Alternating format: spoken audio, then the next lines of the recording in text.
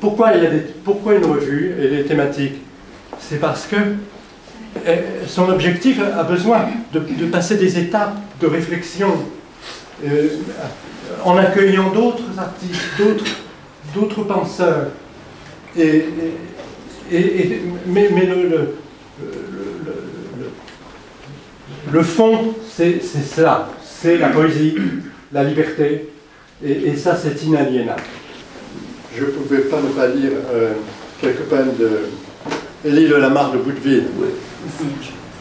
Parce qu'Élie de Lamarre de Boudeville, c'était c'était une, une sorte d'elfe, de, d'ange là qui passait dans ces rues là et qui a passé toute sa vie là euh, et qui est rentré dans toutes les galeries.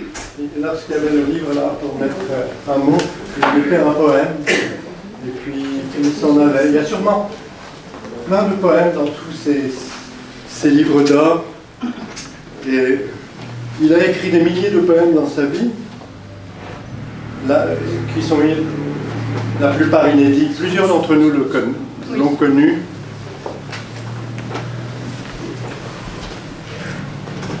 J'ai pu aider à la publication de deux ou trois livres de lui, mais il y a encore dans des caisses, dans des plein de choses magnifiques.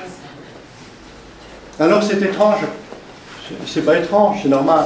La poésie, euh, la poésie elle, elle, passe comme ça, elle est inaperçue. Euh, la poésie, on ne sait pas ce que c'est. Euh, on, a toujours adulé l'abbé de Lille. On pensait que c'était le plus grand poète du début du, du 19e siècle. On a fait des funérailles nationales à Béranger, le chansonnier.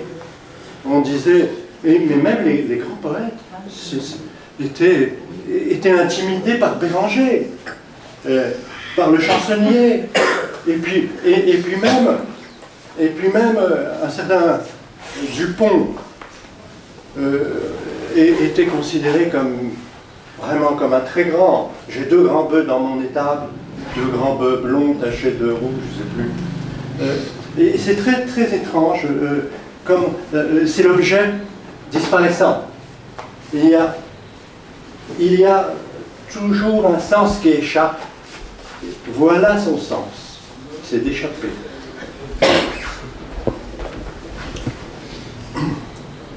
Alors je vais vous lire comme ça.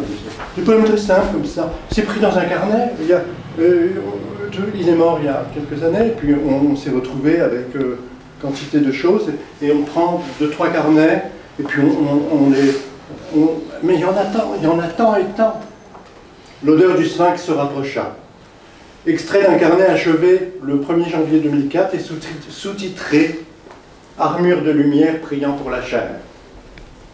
Parfois, on se demande si Dieu n'aurait pas créé l'humanité pour garder ses chiens. Les chiens suivent l'humanité même si elle, ne sait pas où elle est. L'humanité a des yeux de chien battus par Dieu.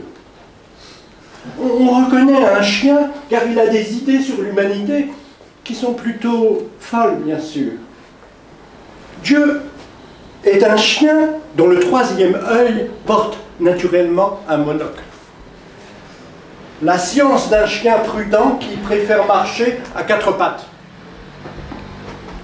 l'humanité cherche à sauver le cœur perdu de Dieu. Un jour, l'humanité comprendra qu'il y a eu plusieurs chaos.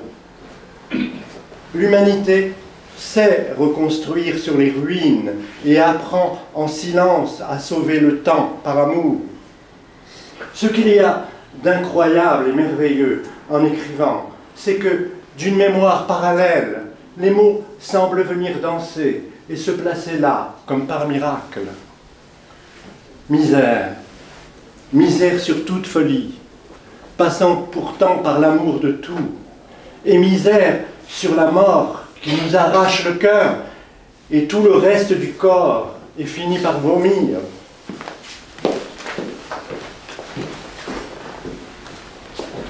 Adieu. Étrange fatuité que ne pas penser à Dieu qui est peut-être un grand docteur, qui nous aurait créé par un tendre amour tout naturel, tandis que nous ne clonons que des moutons. Misère de merde coulant sur ce monde qui d'évidence oublie le corps, alors que c'est tout ce qu'il nous reste d'avoir trop cru en Dieu. Et tant de mes poèmes, comme des épaves essayant de sauver le simple geste d'amour, parmi tant de cadeaux possibles, en millions de vitrines, on voit comme il est dur d'atteindre Dieu. Les gens font semblant de croire aux martiens, mais à vrai dire, les martiens s'en foutent éperdument de ce monde qui ne cesse de faire la guerre contre l'intemporel. J'ai souvent cherché, dans mes poèmes, à rendre la mémoire des voyages futuristes, où l'on pleure de solitude pour sauver ce monde, mais cela ne sert peut-être à rien. Mais pourquoi s'inquiéter de ce monde qui semble si bien de se retrouver dans un cercueil matelassé pour rire encore?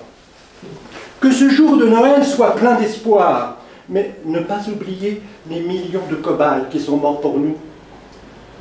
J'embrasse ton regard, comme si tu sortais d'un miroir vers moi.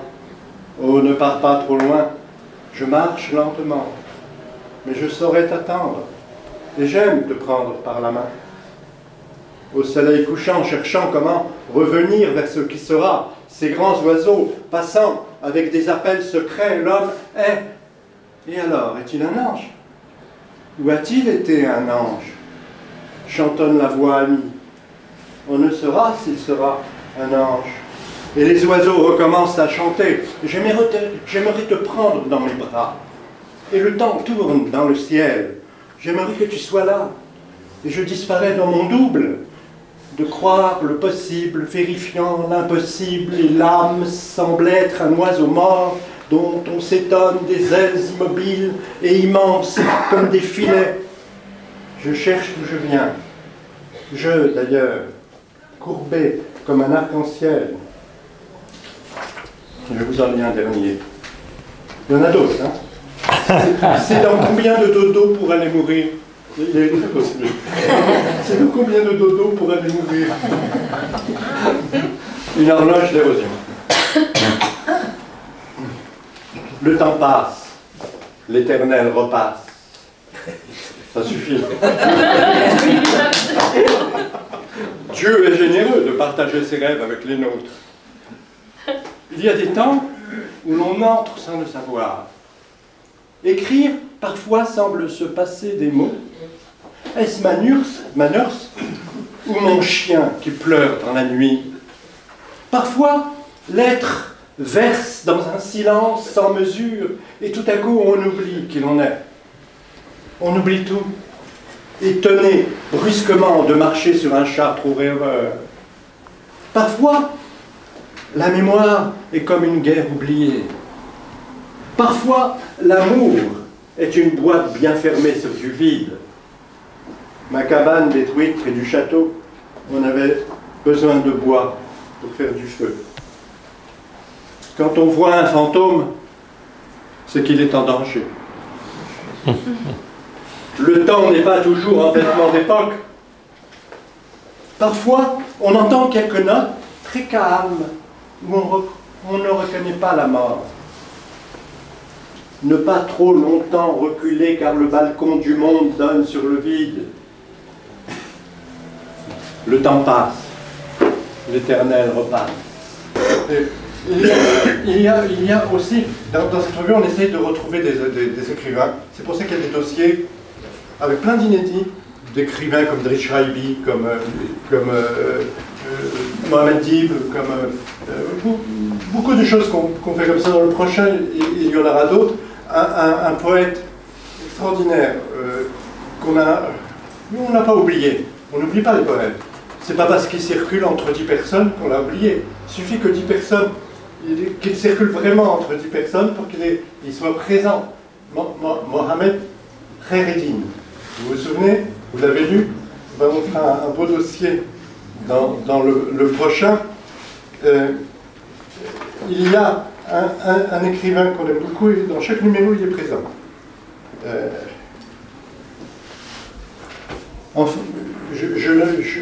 j'achève un texte, Le monde n'appartient à personne, avec quelques vers de lui.